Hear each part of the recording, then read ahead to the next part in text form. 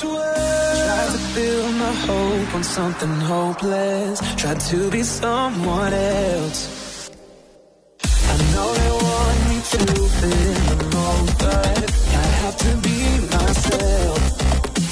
I know that I was made for something greater. I have just begun searching through pages of this novel, myself into this puzzle.